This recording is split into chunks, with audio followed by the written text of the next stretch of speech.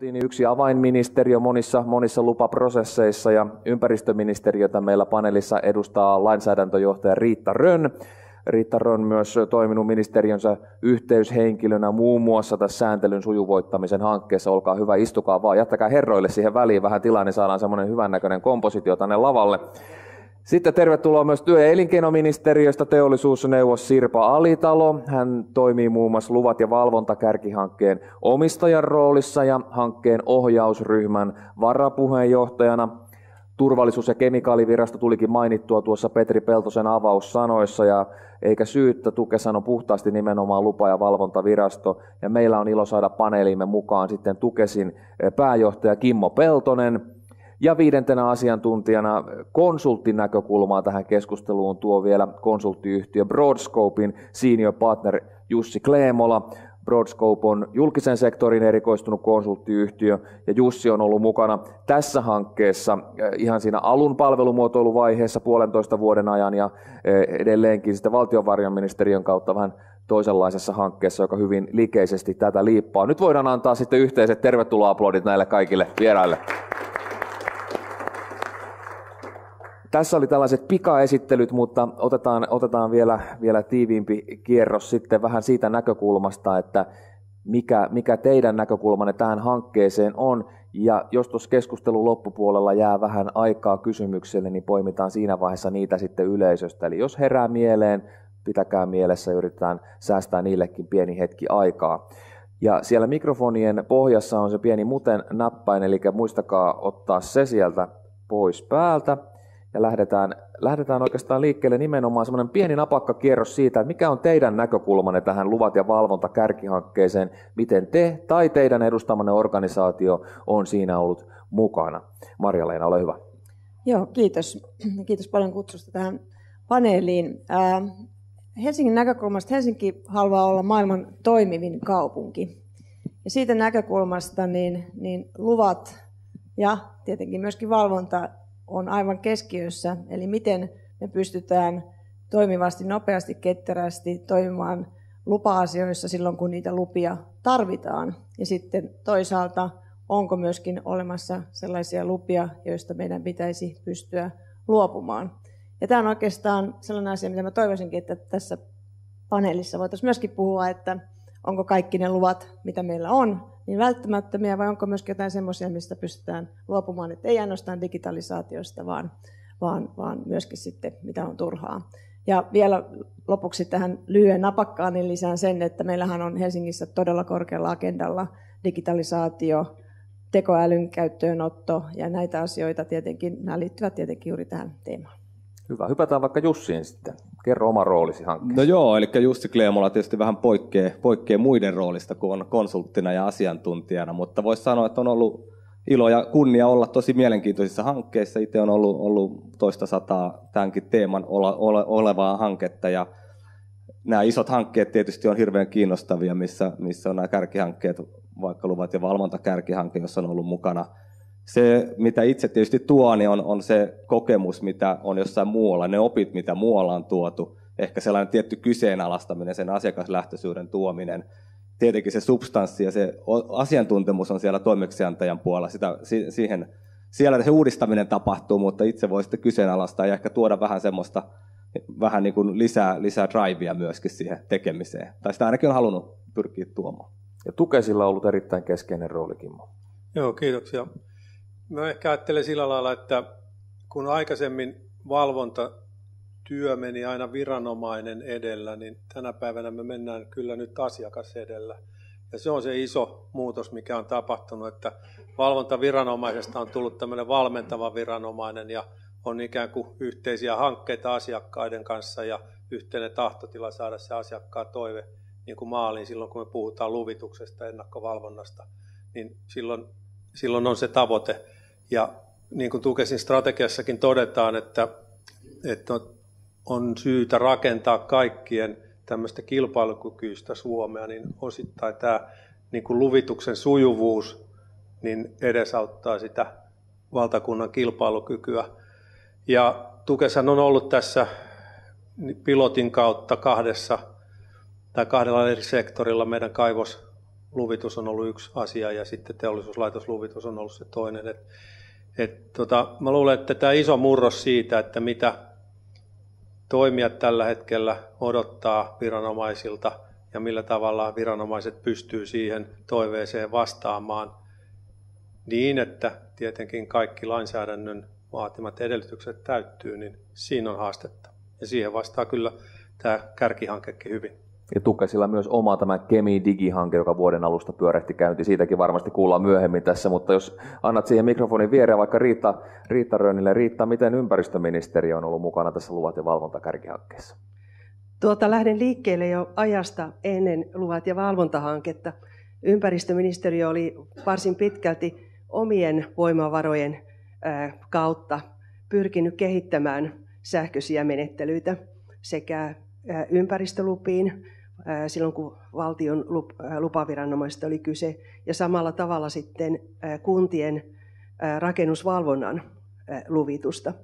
Ja siinä selvästi tuli esille se, että kun katsoo asiakkaan näkökulmasta, niin silloin tarvitaan erilaisia ympäristöllisiä lupia, jotka sitten kuuluu eri viranomaisten puolelle, useita viranomaisia mukana, niin silloin järkevintä on kehittää yhteistyössä valtioneuvoston piirissä. Ja tämä tuli juuri sopivaan aikaan, tai sanotaan viimeisellä hetkellä. Olisi toivonut, että olisi ollut jo huomattavasti aikaisemmin, niin oltaisiin nyt varmasti pidemmällä, mutta hyvä, että edes tässä vaiheessa. Niin pidimme sitä itsestään selvänä, että tuohon hankkeeseen halutaan mukaan. Ja jos jotain hanketta voi kiittää tätä ministeriöiden yhteistyötä, niin tämä on sujunut erinomaisesti. Ja tuota, itse toimin ministeriössä lainsäädäntöjohtajana ja samaan aikaan sitten ruvettiin tekemään lainsäädäntöä ympäristöllisten lupamenettelyiden yhteensovittamisesta, jonka sitten itse asiassa eduskunta melkein viime metreillä hyväksyi. Ja silloin pystyttiin yhteensovittamaan tämä lainsäädännölliset muutokset, niiden valmistelu, että sitten tämä tietotekninen alustakehitys. Ja sitten tietyllä tavalla myös niitä prosesseja siinä mallinnettiin. Ja jossain määrin tietysti on pystytty tekemään jo ilman, e, että on ollut lainsäädäntömuutoksia ja sitten näitä tuota, luvat- ja valvontahankkeen edistyksiä. Ja kaikki semmoiset kokemukset, tässä käytän esimerkkinä sitä Äänekosken biotuotetehtaan kokonaisluvituksen käsittelyä, niin omalta osaltaan ovat tuoneet sitten taas tähän semmoista käytännön tietoa, kun tässä yhtenä hankkeena on ollut tämä teollisen toiminnan lupien muutoshanke, niin, niin tuossa kun kuuntelin tuota Petri Peltosen avauspuheenvuoroa ja ennakkoon oli muutamia pointteja itse laittanut, niin huomasin siitäkin, että oikeastaan ne kaikki avainsanat, viranomaisten keskinäinen yhteistyö, yhteistyö toiminnanharjoittaja muiden tahojen kanssa, palvelukokonaisuus, sitoutuneisuus ja sitten yhteinen tahto, tahtotila viedä näitä asioita eteenpäin, niin löytyy myös omista papereista. Että Mennään niihin keinoihin kohta, kohta vähän tarkemmin vielä, mutta, mutta Sirpan rooli on, on hyvin keskiössä. Joo, Sirpa Alitalo Temmistä ja, ja Temhän on tämmöinen, niin kuin ministeriöt yleensä, tämmöisiä toimintaympäristön rakentajia, eli pyritään tunnistamaan sellaisia asioita, joita edistämällä niin saadaan sitä kilpailukykyä ja kestävää kehitystä. Ja tähän teemaan liittyen niin myös tämä luvat- ja valvontahanke on, on toiminut semmoisena hyvänä viitekehyksenä.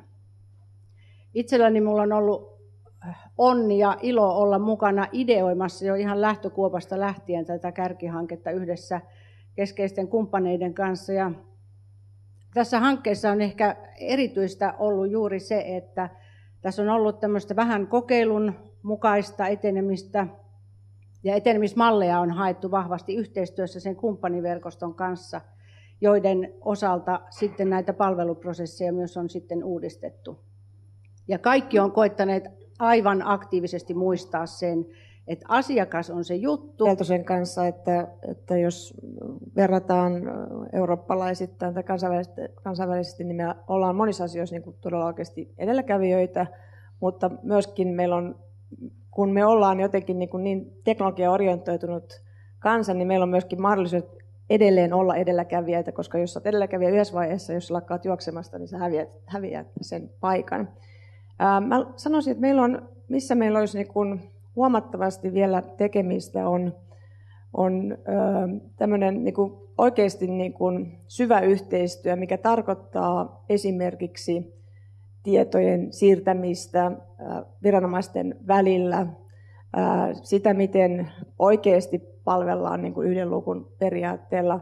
Jos mä otan ihan mielettömän upean esimerkin, josta, josta on itse tosi iloinen ja, ja ylpeä, ja, ja täällä on varmasti salissa monia muitakin, jotka tuntee sen, on tämä meidän International House Helsinki, joka on niin kuin huikea osoitus yhteistyöstä. Et sinne on pystytty tuomaan sekä sähköiselle alustalle että fyysisen tiloihin valtioviranomaisten ja kaupunkien, eli nyt tässä tapauksessa Helsingin kaupungin palvelut, kun puhutaan kansainvälisten ihmisten tänne asettautumisesta maahanmuuttajien palvelusta. Siellä on maahanmuuttovirasto, vero, siellä on meidän palvelut, siellä on Kela. Eli kaikki ne keskeiset asiat, jos puhutaan vieraskielisestä henkilöstä tai maahanmuuttajista, joka on asettautumassa tänne, ne palvelut löytyy niin kuin yhdestä paikasta. Tämä on ihan oikeasti niin kuin ihan mielettömän upea juttu ja mistään muusta asiasta tuntuu, että ei ole niin paljon kiitosta tullutkaan. Mutta sielläkin on edelleenkin henkilöt joutuvat täyttämään ja antamaan samoja tietoja uudestaan ja uudestaan. Eli se tieto ei välity, vaikka se on niin kuin periaatteessa se on niin kuin yhteinen platta ja se on niin kuin huikea edistysaskel, niin kuitenkin siellä on edelleen tämä, että pitää täyttää uudelleen ja uudelleen, antaa niitä samoja tietoja. Eli, eli, tämä on, eli tavallaan niin kuin se tosiaan läpileikkaava yhteistyö, että se, niin kuin, siinä on, ollaan menty paljon eteenpäin, mutta vielä tämä, esimerkkinä nyt tämä tietojen luovuttaminen. Eli syvempää yhteistyötä tarvitaan, ja tämä on myös sellainen asia, mihin itse olen monissa taustakeskusteluissa törmännyt, että valtionhallinto on kovin niin kuin siiloutunutta edelleen, tätä sanaa on käytetty, Jussi siellä nyökytteli. Joo, joo, oikeastaan tästä tilannekuvasta ja voin kompata hyvin tota siiloutumista, että itse kun miettii, mikä valtava harppaus tässä on tapahtunut, tähän sinänsä digitalisaatio ja ehkä asiakaslähtöisyys ei ole mikään hirmu nopeasti edennyt, ne, jos ajattelee historiasta, meillä on parikymmentä vuotta ollut, ollut sähköistä asiointia, internettiä, on puhuttu samaan aikaan tästä asiakaslähtöisyydestä. Miksi se ei ole edennyt nopeammin?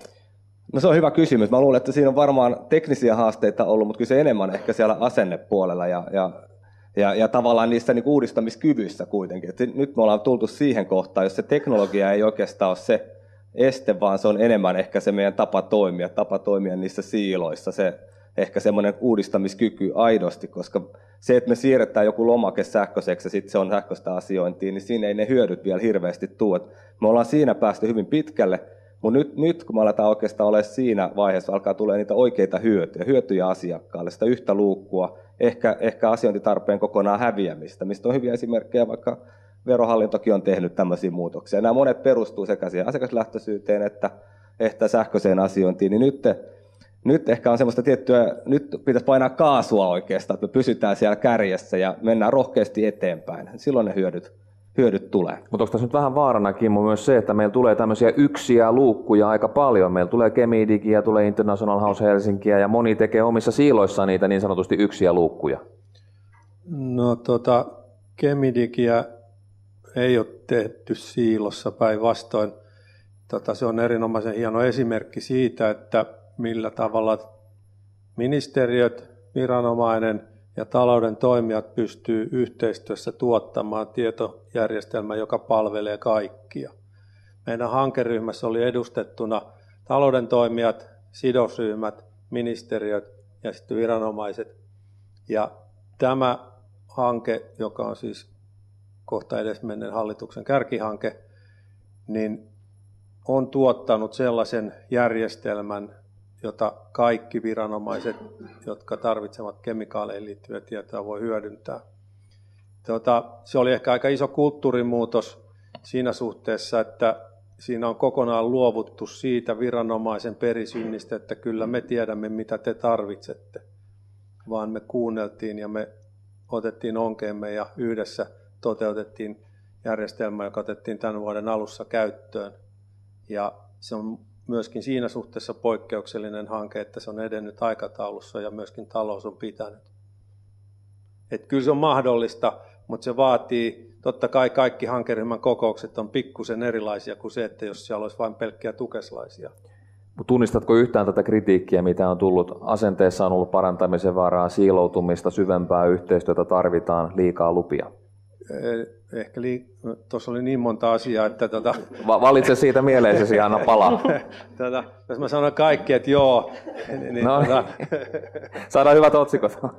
joo, Ole hyvä. Et, et, tota, kyllä, mutta mä luulen, että niin kuin mä tuossa aluksi sanoin, niin, niin tahtotila on muuttumassa ja nähdään isompia kokonaisuuksia, eikä vaan pusata siellä omissa nurkissa, vaan että halutaan, että hankkeet on yhteisiä ja niitä on paljon kivempikin tehdä yhteistyössä ja pystytään sillä tavalla murtamaan niitä raja-aitoja ja näkemään niitä semmoisia isoja, isoja kokonaisuuksia ja ymmärretään, että paljon tehokkaampaa työskentelyä. Toi, toi lupakysymys on varmaan sellainen, että, että sitä pitäisi pohtia ihan jossain toisella foorumilla, että, että millä tavalla me voidaan tunnistaa sellaisia lupia tai ilmoituksia, jotka ei ehkä ole aina ihan tässä ajassa. Sirpa. Joo, tässä varmasti tämä, että asiakas on keskiössä, niin se on kyllä ehkä semmoinen oikein iso asenteellinen muutos, että, että asiakasymmärrystä tarvitaan ja sitä hyödynnetään, kun palveluja kehitetään. Ja, ja tämän mä katsoisin, että siinä on kyllä ihan semmoinen keskeinen pointti. Ja toinen sitten tuo juuri, että se tieto ja sen tiedon liikkuvuus on kyllä, se on ihan, ihan keskeistä. Ja, ja sillä tavalla sitä yhteistä näkymää siihen asiakkaaseen myöskin saadaan, kun sen asiakkaan tietoja tai, tai sen asian tietoja voidaan jakaa. Et perinteisestihän meillä on se ongelma, että kukin viranomainen näkee sen oman virastonsa osalta sen asian järjestelmistä ja, ja niistä dokumenteista. Ja se on oikeastaan aika inhimillistä, että silloin tehdään nimenomaan se pätkä siitä työstä mahdollisimman hyvin. Ja nyt kun on mahdollisuus tuoda ikään kuin se kokonaisnäkymä, se asiakkaan asian ratkaisemisen tarve, ja mikä osuus sillä omalla virastolla on siitä kokonaisuudesta, niin se ihan eri tavalla motivoi myöskin. Mennään niihin keinoihin, miten me päästään tuohon maailmaan riita, riitan kautta. Tässä on nyt monissa puheenvuoroissa vähän tuotu hyviä, hyviä niin kuin siemeniä siihen, mitä tarvitaan, mutta Riitta, mitä sinä sanoisit, mitkä on niitä avainasioita, kun me lähdetään luomaan näitä asiakaslähtöisiä uudistuvia julkisen sektorin palveluja? Tuota, kolme asiaa otan esille. Kyllä se ensimmäisenä on nämä rajapintojen rikkominen. Hyvän suuntaan on menty valtiohallinnon välillä. Ajatellen juuri vaikka tuota Kemidikin ja sitten taas ympäristöpuolen tietojärjestelmien kehittämistä. Mutta iso kynnys on vielä tämä valtion ja kunnan välisen rajan rikkominen. Lähtee jo siitä, että kunnissa on kunnallinen itsehallinto ja jokainen kunta on voinut ne omat tietotekniset ratkaisunsa valita. Ja sitten kuinka yhteensopivia ovat sitten näihin valtionhallinnon järjestelmiin, niin se on varmaan se iso tuota, haaste ja rahaa vaativa, että yhteistä tahtotilaa varmasti kaikilla osapuolilla on, mutta se vaatii sitten ihan kunnon satsauksia ja tuota, pitkän tähtäimen suunnittelua. Toinen puoli liittyy sitten näihin tietovarantoihin, että jos ajatellaan ympäristöllisiä menettelyitä, niin päätöksenteon tueksi tarvitaan tietoa, ja sitä tietoa on tullut prosessin eri vaiheissa, lähtien jo ihan kaavoituksesta ja sitten ympäristövaikutusten arviointimenettelystä ja mennään lupa, lupamenettelyihin, niin se olisi äärimmäisen tärkeää, että kaikilla osapuolilla on käytössä se tieto, mikä sinne on tullut jo aikaisemmissa vaiheissa. Se ei ole tietysti ihan sellaisenaan kaikilta osin valmista, mutta ei sitä samaa tietoa sitten kysytä useampaan kertaan. Että tämä on varmasti tuota, keskeistä. Ja sitten mä nostaisin vielä tämän niin kuin, ä, toimintatapojen kehittämiseen, missä on varmasti potentiaalia, että, että kun prosessit sähköistetään, niin se antaa mahdollisuuksia sitten myös tämmöisen helpottaa sitten viranomaispuolella. Ei tule niitä yksittäisiä kyselyitä ja ajatellen sitä menettelyiden kokonaiskestoa, niin se saattaa jopa edestä, edesauttaa sitä, että ei sitten niitä lisätietopyyntöjä tule useampaan kertaan, vaan se prosessi, kokonaisprosessi on ihan oikeasti sujuvampi ja ne viimeisetkin lupapäätökset tulee sitten nopeammin hyviä keinoja. Pari jatkokysymystä Jussille ja Marja-Leenalle. Jussi, tota, tässä tarvi, puhuttiin näistä toimintatapojen muutoksista ja itse nostit esiin sen, että nyt tarvitaan nimenomaan sitä ajattelutavan muutosta. Mutta kuten sanoit, se on helpommin sanottu kuin tehty. Teknologia on ehkä helpompi uudistaa. Niin konsulttina, miten se ajattelutapa saadaan muuttumaan? Mitä, mitä sinä sanoisit? No kyllä tietysti tämän tyyppiset tilaisuudet on, on, on aina hyviä, vaikkakin täällä on paljon tuttuja, niin mä näen, että täällä varmaan on ne valistuneet paikalla ja ne edelläkävijät, mutta tota, tietysti sitä tietoa lisää ja ehkä ymmärrystä, mutta se yksi, yksi tärkeä, mikä tässä on, on sinänsä sivuttu, niin se yhdessä tekeminen, että tehdään mahdollisimman laajalla ikään kuin toimijajoukolla niitä, niin se aina avaa niitä. Niitä aha-elämyksiä on itse paljon ollut näissä työpajoissa rakentamassa, että kun me rikotaan niitä siiloja, niin sitten kun siellä on eri osapuolet paikalla, niin siinä yhdessä huomataan, että hei, tämähän on ihan älytön, että me pyydetään jotain dokumenttia, joka te joudutte toimittamaan, kun me voitaisiin saada se tuoraan teidän järjestelmästä, eikä niin kuin asiakkaan kautta. Ja, ja monta muutakin kohtaa me tehdään jotakin toimintaa eteenpäin, te joudutte lähteä tavallaan alusta vaan ihan sen takia, että se tieto ei kulje tai, tai meillä ei ole sitä ymmärrystä. Ja ylipäätänsä ne prosessit, ja aina se on helpointa, kun sen kiinnittää siihen asiakkaan. Se asiakkaan ketju on oikeastaan se liima, mihin me sitten voidaan eri toimijat ja eri, eri palvelutuottajat sitten yhdistää. Sitä kautta me päästään niihin hyviin kokonaisuuksiin. Mä luulen, että se on se, mikä avaa sitä. Ja sitten se ymmärrys tavallaan kasvaa, että kun me ollaan asiakaslähtöisiä, niin usein se on myös se tehokkain tuottavin tapa niin kuin myöskin siihen käsittelyprosessien näkökulmasta. Riitta mainitsi myös, että tuo valtion ja kunnan välisen rajan rikkominen on hankalaa ihan jo pelkästään siitäkin syystä, että järjestelmien yhteensopivuus voi olla joskus ongelmallista. Marjalena, tietysti Helsinki on vähän erityinen kunta, mutta miltä tämä kuulosti? Joo, ihan varmasti on. on tämä on niin kuin, se on iso ongelma tai, tai iso haaste, mutta mä oikeastaan kyllä uskoisin, että siinäkin niin kuin, teknologia on niin kuin, tässä ei ole. Jos ajatellaan Tukesin toimialuetta, kun me tehdään sidosryhmä- ja asiakastyytyväisyys, takaa ei löydy sitten sitä, jonka kanssa siitä asiasta voisi parrata. Ja, ja siihen tarvitaan nyt sitten taas edelleen se ihminen, on se chatbotti, se ei ehkä ole ihan yhtä luonteva kuin sitten se semmoinen kasvokkaan käyttävä asioiden selkeyttävä keskustelu. Että tässä pitää nyt muistaa kaksi asiaa. Meillä pitää olla ne sähköiset järjestelmät kunnossa, mutta meillä pitää myöskin huolehtia siitä, että meillä on ne asiantuntijat sellaisia, että ne on kärryillä ja tietää, missä mennään.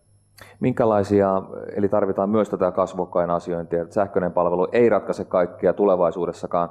Tästä tuli Kimmo myös useampia tämmöisiä haasteita jo edellisissä puheenvuoroissa. Minkälaisia haasteita sinä näet, kun lähdetään, lähdetään kehittämään näitä uudistuvia asiakaslähtöisiä palveluja? No, mä en näe niin kuin, mä olen sillä lailla optimistinen, että mä en näe mitään sellaista isoa estettä, että kun se on pitäisi perustua siihen dialogiin ja vuorovaikutukseen ja ihmisten kanssa keskustelemiseen. Ja ihmisethän ne siteet sitten luo, että nyt lähdetään kehittämään jotain ja ollaan innostuneita siinä alussa. Niin sitä pitää pystyä ruokkia, sitä pitää pystyä vahvistaa. Oli sitten kyse ministeriöiden välisestä hankkeesta tai valtiokunta välisestä hankkeesta. Kyllä se saadaan tehtyä. En mä näe siinä niin semmoista mitään isoa ongelmaa. Tällä hetkellä suurin rajoittava tekijä on varmaan raha Entäs tämä Marja-Leena nostama tietosuoja kysymys, tiedon kulkeminen, onko se kuinka iso haaste tukesin näkökulmasta? No on, onhan se kyllä sekin niin kuin tuo sen oman mausteensa siihen, että mitä pystytään tekemään, mutta aika paljon silloin kun me puhutaan ihan pelkästään sellaisesta niin kuin datalähtöisyydestä eikä niin kuin, ää, mitä mä sanoisin, ihmisien, ihmisten tietoa sisältävien tietojen vaihtamisesta, niin se on ehkä helpompaa. Mutta kyllähän esimerkiksi Kemidikin yhteydessä käytiin pitkään semmoista keskustelua sidosryhmien kanssa, että kuinka paljon sitä aineistoa, jota päästään katsomaan, voidaan käyttää erityyppisiin analyyseihin. Pystyykö esimerkiksi toimijat hakemaan ja kilpailuttamaan ja tekemään erinäköisiä laskelmia siitä. Ja tämä oli ehkä sitten myöskin sellainen uusi asia, mitä ei ehkä ihan viranomaisnäkökulmasta olisi heti hoksattu, mutta tuli sieltä sitten meidän sieltä asiakkaiden puolelta selvästi esille, että tämä pitää huomioida. Otetaan Sirpalta vielä tähän kommenttia. Sitten niin kuin lupasin, että jos yleisössä on herännyt, niin napataan myös sieltä. Mutta Sirpa, ole hyvä.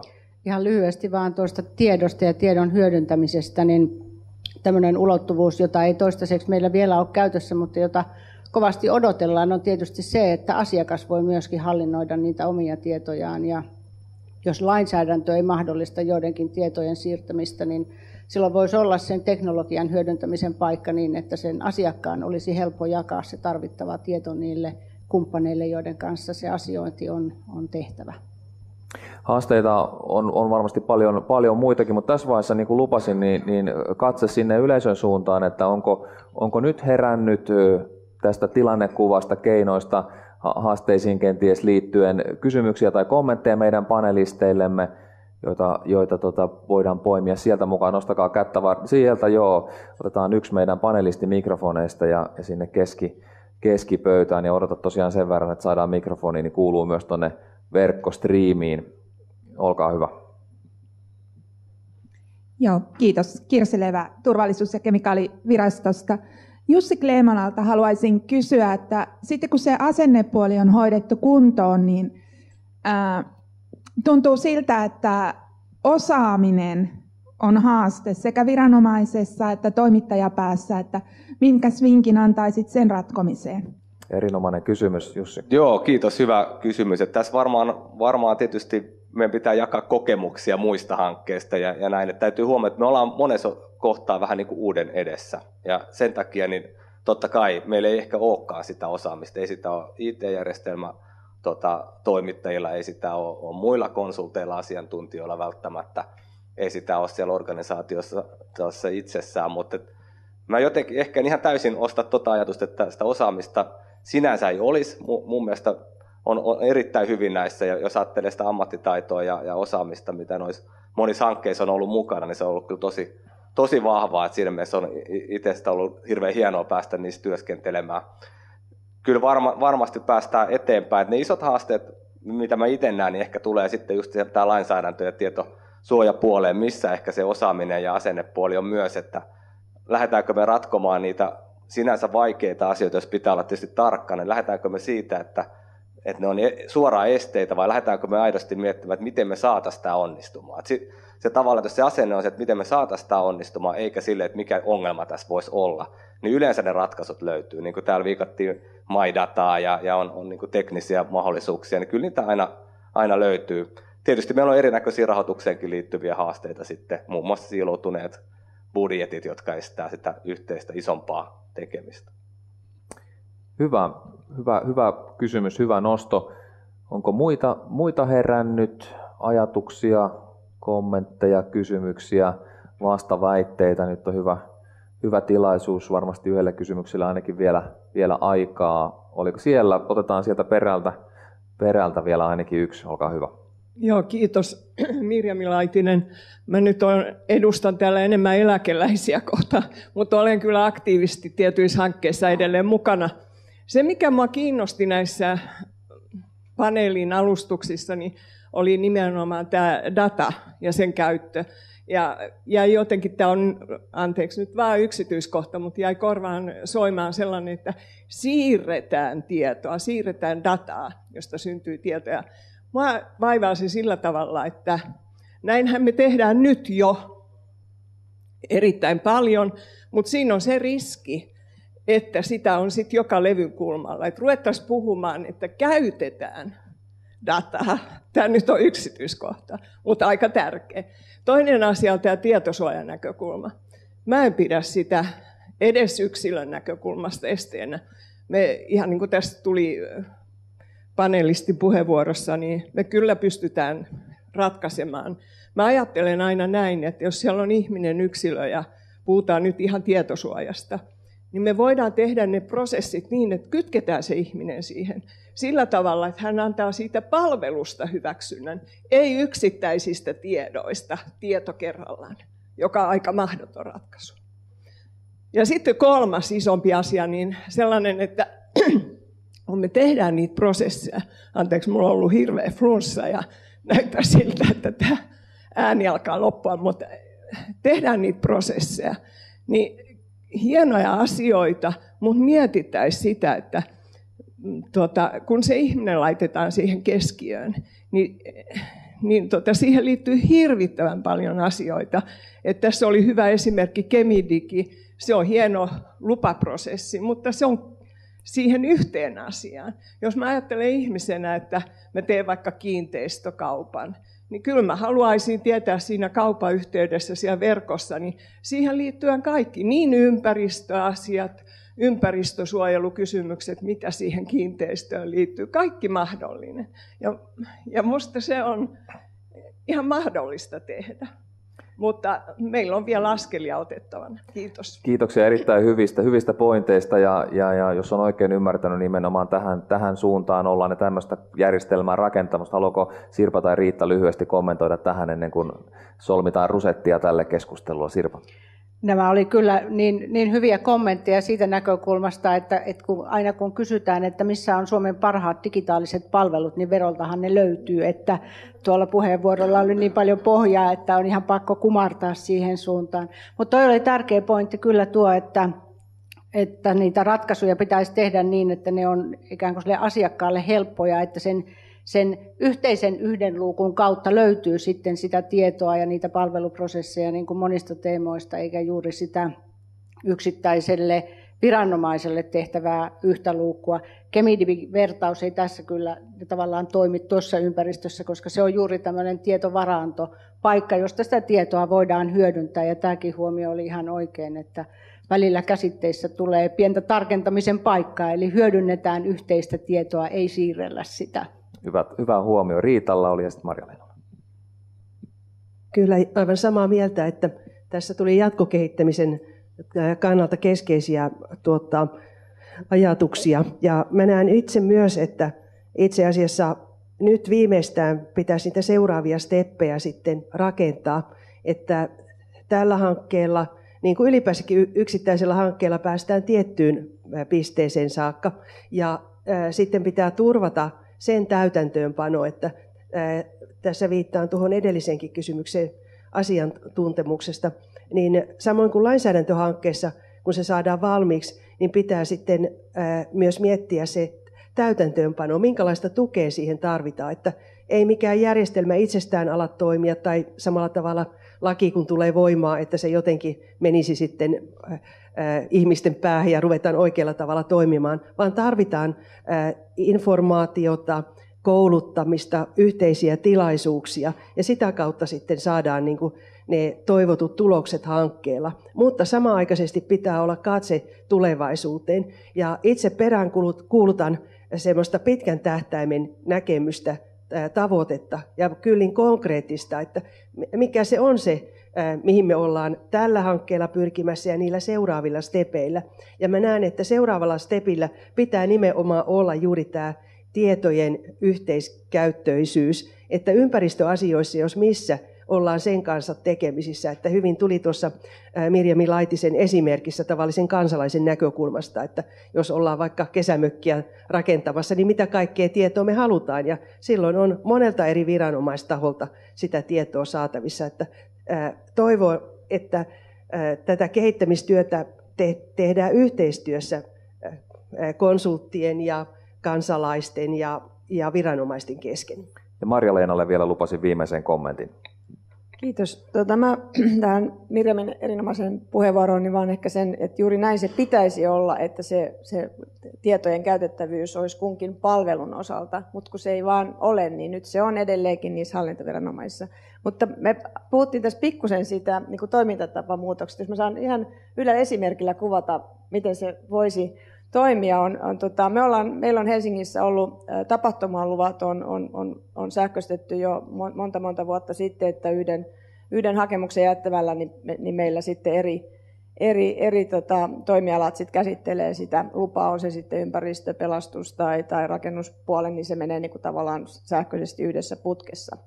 Se on, näitä tehdään joka puolella, eikö niin? Mutta se, mikä meillä on ollut niin oikeasti tässä toimintatavan muutoksessa, niin muutama vuosi sitten näihin samantapaisiin, siis eli tapahtumiin liittyen, niin me aloitettiin tämmöinen rantakesähanke. Ja siinä oikeasti se ajattelu oli niin, että ei joka ikiseen asiaan tarvita sitä tapahtumalupaa, vaan avataan tiettyjä paikkoja, merkitään tuolta kartalta, että näissä paikoissa voi ilman mitään lupia pitää tapahtumia kesällä. Ja se on niin kuin sitä ajattelutavan muutosta. Sitten vaan niin kuin ilmoittaa, että, että pitää totta kai tehdä se ilmoitus, että mä oon tuolla tuolla ja mä oon tuolla tuolla, mutta ei tarvitse niin mitään lupia hakea. Ja ne on ne tietyt paikat vapauttamaan tai tuomaan elämää tuonne rannoille, tapahtumia, kaiken näköistä hauskaa ihmisille, mutta myöskin sitten pitämään myöskin siellä erinäköistä harjoittamaan liiketoimintaa, kioskia ynnä muuta. Eli, eli tuota, tai semmoista pienimuotoista pienimuotoista liiketoimintaa. Tai ravintolapäivä, missä vaan niin kuin vapautettiin, että okei, että nyt että saa tehdä, sallitaan. Eli katsotaan, mihin saakka voidaan mennä ilman, että joka asiasta pitää se lupa olla. Ja tämä on sitä toimintatavan muutosta, mitä mä uskon, että kun avataan sitä ajattelua, niin pystytään monissa koodissa, ei tietenkään kaikissa, ja meillä on niin ihan perustavanlaatuja olevia isoja asioita, mutta että myöskin niistä isoista asioista voi löytyä joitakin kulmia, joissa kuitenkin pystytään sallimaan myöskin tällaista ei-luvan luvanomaista toimintaa. Erinomaisen hy- hyvä esimerkki, kiitos kun nostit tämän. Ja nyt tähän ihan loppukaneetiksi niin tuota, tälle hyvälle, hyvälle keskustelulle. Tässä on tullut tosi paljon, on ollut vähän semmoinen toiveiden tynnyri, että näitä ja näitä asioita meidän pitää ottaa huomioon. Meillä on varmaan kymmeniä pointteja, mutta mä haluaisin teiltä jokaiselta yhden asian, yhden tärkeimmän asian uudistuvien asiakaslähtöisten palvelujen saamiseksi yhdellä sanalla, jolla me saadaan viisi tärkeintä, top 5, mitkä ne on. Marileenalla mikki on valmiina. Mikä on se tärkein asia yhdellä sanalla, mitä me nyt tarvitaan maaliin pääsemiseksi? No kyllä se on oikeasti se asiakasymmärrys. Asiakasymmärrys, hyvä. Kimmo. Dialogi. Riittää. Tahtotila. No mä laittaisin sen yhden luukun, joka on, on tosiaan se kattava yksi luukku, eikä jonkun yhden asiakokonaisuuden yksi luukku. Niin kannan siitä vielä huolta ja tuon sen aina, aina itse hankkeessa mukaan. Ja Sirpa? Yhteistyö. Yhteistyö, yksi luukku, dialogi, tahtotila, asiakasymmärrys, erinomaiset pointit. Se on meidän top 5. Kiitoksia erinomaisille panelisteille Sirpa Alitalo, Jussi Kleemola, Riitta Rön, Kimmo Peltonen ja Marjalen Rinkinen. Ja vaikohan annetaan heille isot aplodit.